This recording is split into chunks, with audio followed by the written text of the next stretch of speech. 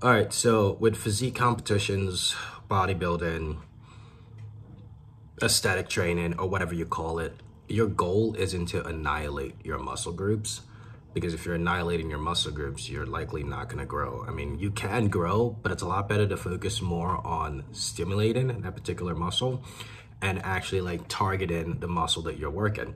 So for example, in the video right after this, I'm going to be doing shrugs. So shrugs are very interesting, especially if you're trying to get your traps to kind of like pop up and stuff like that.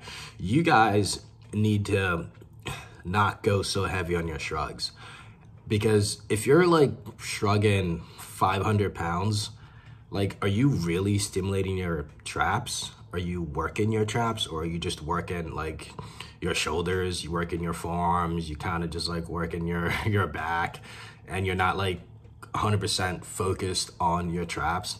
So this is just me letting you know that you probably have been doing your shrugs incorrectly. And the reason why your traps are not growing is simply because you're literally annihilating your traps. You're not even annihilating your traps. You're just lifting heavy ass weights for no with no intention to actually work those partic particular muscle groups that you're working. So in the video, it's gonna be shrugs, barbell shrugs and we're gonna do this right. We're gonna do this really right so we can actually grow our freaking traps and not have like tiny ass traps while we're lifting like 500 pounds and shrugging 500 pounds on barbell shrugs. Let's do this, come on. Okay, shoulder shrugs, particularly barbell shoulder shrugs. What to do is bring the weight up explosively, hold it, bring it down, slow and control. So what you want to do with this is while you're bringing the weight down, you want to retract your traps. That way when you retract your traps, you're fully focusing on 100% engaging your traps rather than just using like your shoulders or using your arms, your forearms to stimulate your traps. So retracting your traps at the end kind of makes you get that full range of motion and also you want to like pull it down and then that should be a lot more beneficial. Again, lighter weight, focus on form and technique. And um, that is pretty much it. So with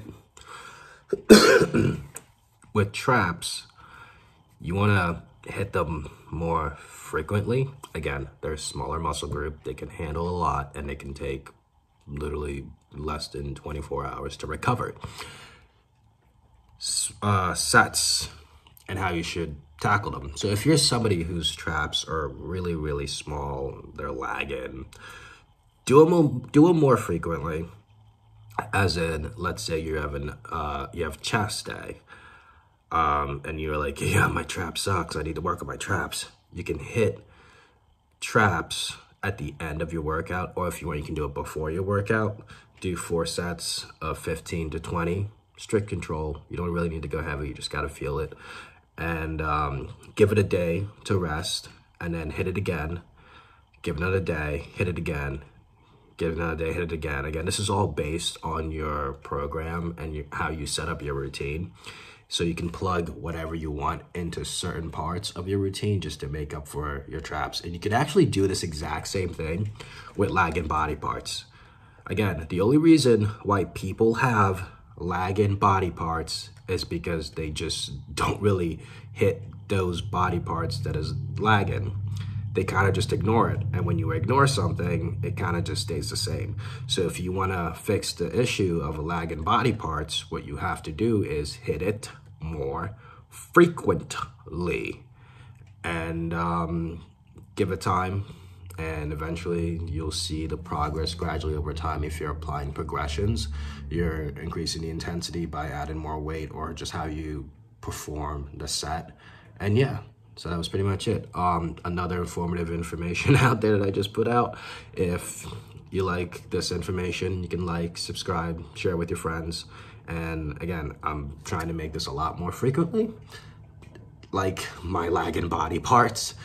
But um, yeah, so if you have any uh, questions, you can always shoot me a message or DM me on my Instagram at Kanulift or email me at Kanufitness at gmail.com. All right, next video will probably be soon.